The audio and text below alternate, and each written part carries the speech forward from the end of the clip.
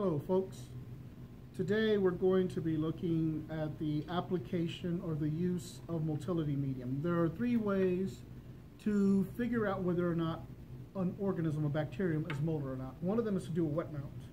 And that's pretty easy to do, but because we're not in the lab, you can't really do it, right? The second way to look at that is to do a flagellar stain, which we'll study, or we have studied, uh, or we will study, and uh, but we're not going to, of course, do that, but you'll get to see what some of the flagellar stains look like. And the third way is to use what we call a semi-solid medium.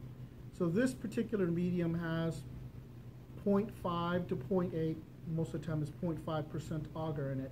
So it has the consistency of jello. If I was to tap it hard enough, it would break, okay?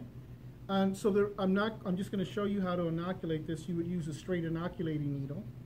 You would go in, you would take organism from your tube, you would come in, you would then take that and you would inoculate this medium.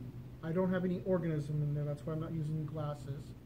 I would come in, use the, and take and go ahead and just go straight down to about three quarters of the way and then right back up. Okay? There's nothing on this, it's not contaminated. I just wanted to show you how to do that. If we were to use that as a control, then we could look at the um, results. And so here are the results. So you can see if you compare this particular tube to the control that didn't have any organism in it, you can see that the organism is growing in one straight line. And if the organism is growing in one straight line and didn't migrate from that side of inoculation, that particular organism is said to be non-motile.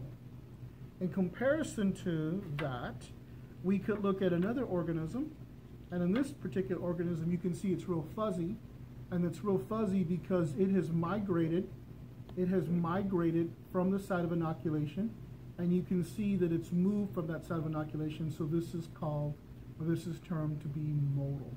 So the differences here are, again, your control, motile, non-motile, okay? It's not mobile, that's different.